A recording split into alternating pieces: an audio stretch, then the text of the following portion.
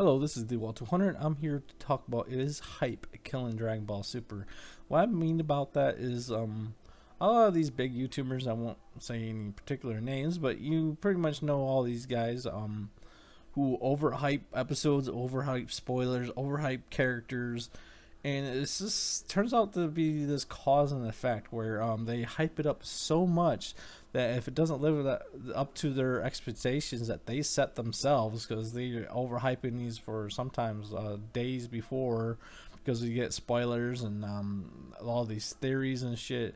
And when it doesn't happen the fans are not happy. And i think that kind of causes everyone to hop on you know uh, the dragon ball super hate train for really no reason other than it doesn't live up to the expectations of some of these uh, bigger YouTubers. I'm not saying everyone does that because I've uh, been really critical on a lot of these episodes, and uh, I don't think Super's all that great.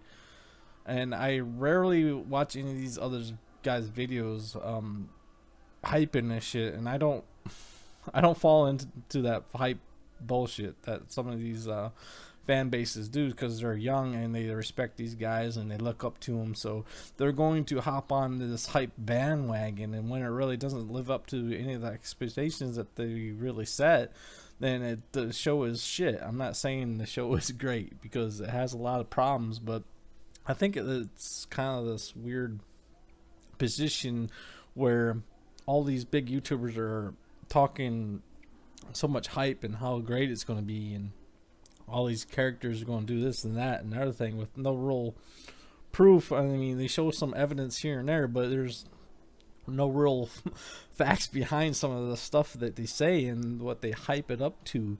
And and when it fails, that it's just like this weird, uh, I guess, spiral downwards where people are not happy with the fucking show for no other reasons other than that it was hyped too much or uh, had high way too high expectations and I wish a lot of these um, bigger YouTubers really didn't hype it as as much as they did. I mean, I can't control what they do, but I'm just saying a lot of these fans are kids and they look up to them and they trust what they say and they get behind the bandwagon and shit like that. And don't hate on the fucking show because you know, it didn't live up to the expectations of a big YouTuber.